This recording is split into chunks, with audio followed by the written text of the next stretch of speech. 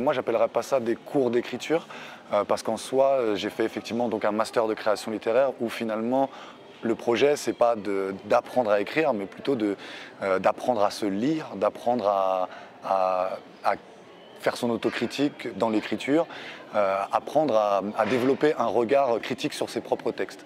Donc ça passe effectivement par euh, l'émulation qu'il peut y avoir dans le groupe. Euh, mais effectivement, il y a diverses sensibilités qui s'expriment, donc parfois il y a des avis très contradictoires qui peuvent avoir lieu. Et donc c'est de tout toute cette matière-là qu'on est amené à faire des choix.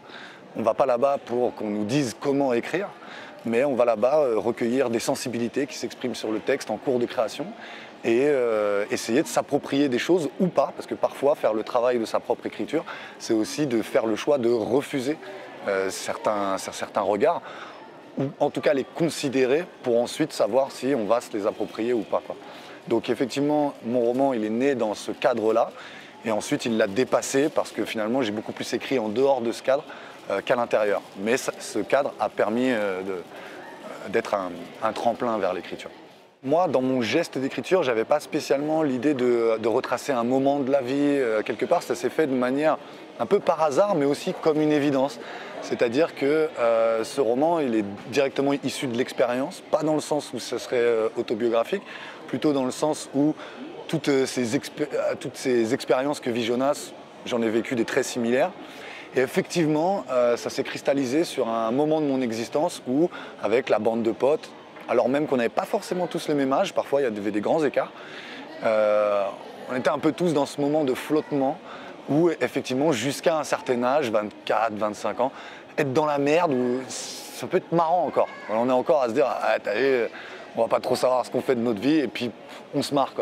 Alors que euh, c'est plus tard que vient le moment de la remise en question. Mais euh, donc ça n'a pas été un objectif en soi, mais à partir du moment où j'ai voulu retranscrire cet univers, si je l'ai fait avec authenticité et de manière véridique, alors il donne à voir ce genre de thème. Je pense que le langage, euh, c'est quelque chose. Moi, j'avais pas. Euh, je, je voulais même pas spécialement mettre en avant ce langage. C'est juste que par souci de réalisme, à partir du moment où je m'empare de ce, de ce décor-là, de ce milieu social, de ces mecs-là, j'étais obligé de les faire parler à leur manière. Mais j'ai eu un travail aussi entre la parole rapportée et la narration qui m'a fait faire des choix, euh, notamment euh, de questionner le statut de l'oralité. Euh, et ça passe par des détails, mais des choses comme les négations. Le fait de faire la négation entière avec le ne et le pas dans la narration et pas dans, le, pas dans la parole rapportée, ça permet de donner un statut à chacun.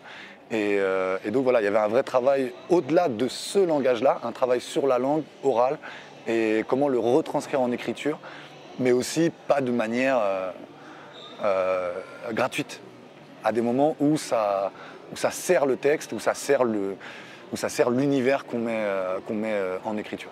Il y a un personnage qui me, qui me marque particulièrement, c'est le personnage de X. Donc c'est un dealer, mais un dealer à la petite semaine, quoi. Il fait ça plutôt pour les potes, il n'en fait pas un business.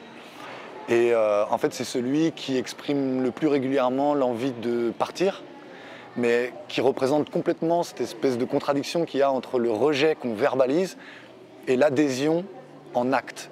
C'est-à-dire que là où le mec tient toujours ce discours, bah, pourtant on peut revenir quatre ans plus tard et il est toujours là. Donc euh, c'est aussi ce personnage-là qui m'a fait me poser la question de euh, à quel point c'est une lutte interne que de vouloir se réapproprier cette existence et de renoncer à une vie héroïque qui serait, euh, qui serait prescrite de partout et pour mieux se satisfaire d'une vie simple, libérée de, beaucoup de contraintes matérielles. Euh, et donc voilà, c'est pour ça que ce personnage-là me touche particulièrement.